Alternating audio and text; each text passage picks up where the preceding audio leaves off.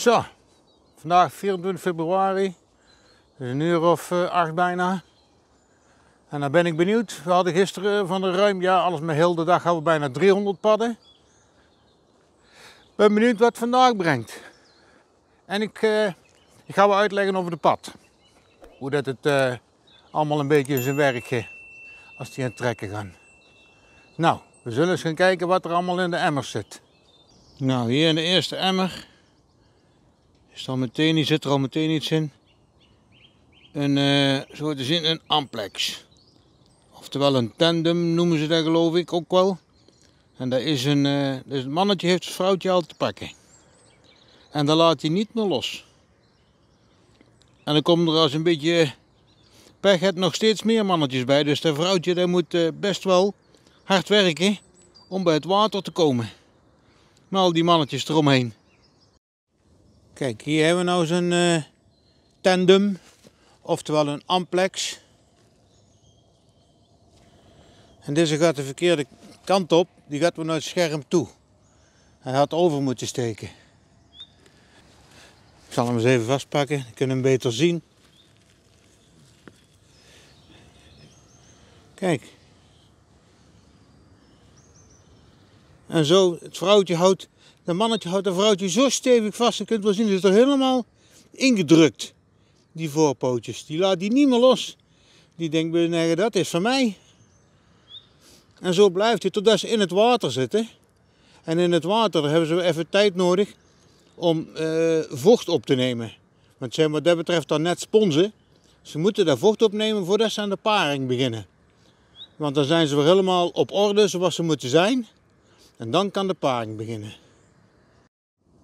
Als ze dan opgewarmd zijn en de paring is geweest, zeg maar, dan wordt het, het vrouwtje wordt, ja, dat wordt uitwendig bevrucht door het mannetje. En op het moment dat het vrouwtje dat, uh, klaar is, dan gaat het vrouwtje eigenlijk al wel vlug genoeg lopen. Die verdwijnt en die gaat naar de zomerbiotoop. Het mannetje blijft dan nog wel uh, achter. En uh, die gaat een paar weken later, pas als alle vrouwtjes vertrokken zijn, gaat het mannetje ook naar de zomerbiotoop. Dus de kikkertjes daarna, of de jonge patjes, die moeten het uh, maar eens een beetje uitzoeken. Zonder de ouders. Voordat het natuurlijk uh, jonge patjes zijn, zijn het eerst eitjes. En de eitjes van een pad zijn heel makkelijk te herkennen. Het is een slierte.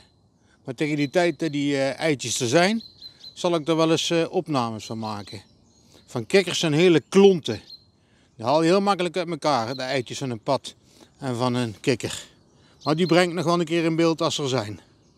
Deze emmer zit ook een, een, een padje in, maar je ziet wel, we hebben de emmers nat gemaakt en een salamander zit daar. We hebben de emmers nat gemaakt omdat ze, ze droogde uit. Het was veel te droog. De drang naar het water toe te gaan is hoger dan uh, kijken wanneer de, de, temperatuur goed is en het, uh, de vochtigheid goed is. De temperatuur lag het dus niet aan, maar de vochtigheid was veel te laag. En dan als het dan droog is uit, en aangezien deze beestjes uh, ademen door de huid, is het toch wel heel belangrijk dat ze ja, vochtig blijven. In ieder geval dat de huid blijft ademen. En dan gaan de, de, de paddenmannetjes die gaan als eerste. Want die zijn het kleinste. En dus die zijn eerder opgewarmd als de vrouwtjes. De vrouwtjes komen meestal ja, een, een weekje later, als het dan uh, in ieder geval de temperatuur goed blijft. En dan gaan ze richting het water. En dan gaat dan zo massaal dat er uh, toch best veel uh, doodgereden worden.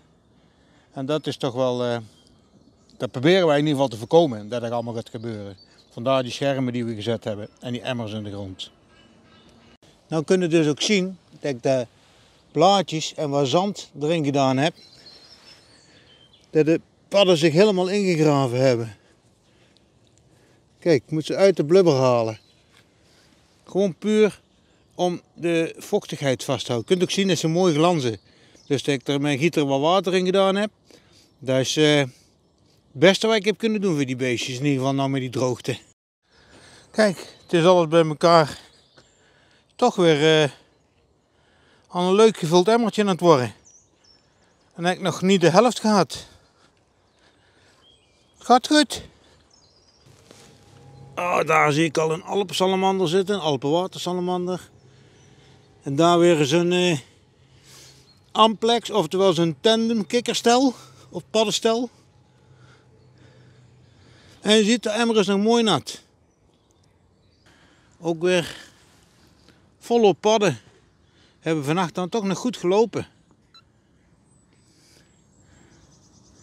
Moeten ze maar vooral doen. Want het gaat, eh, volgens mij gaat de nachttemperatuur aan het eind van de week weer behoorlijk naar beneden. En dan is het weer afgelopen met de trek.